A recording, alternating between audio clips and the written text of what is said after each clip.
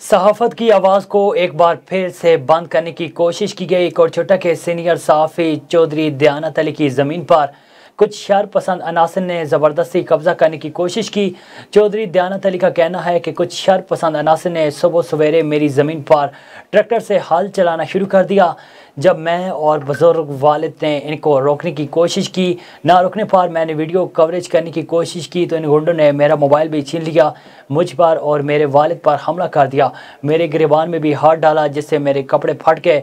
जान से मारने की कोशिश की गई और गालम गलोच और गंदी ज़बान इस्तेमाल करने लगे। तो हमने वन फाइव पर इतला दी मुतल थाना दरख्वास्त जमाल खान की पुलिस जब मौके पर पहुँची तो मुजबान भागने में कामयाब हो गए और धमकी दी कि अगर कोई कार्रवाई की तो तुम्हारे ख़ानदान को ज़िंदा नहीं छोड़ेंगे। साफ़ी चौधरी दयानत अली और इसके ख़ानदान ने आई जी पंजाब से कार्रवाई करने और तहफ़ फ्राहम करने का मुतालबा कर दिया।